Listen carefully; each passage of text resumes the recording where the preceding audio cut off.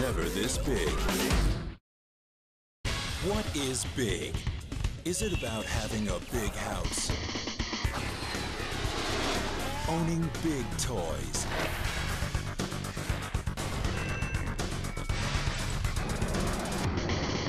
Getting a big physique?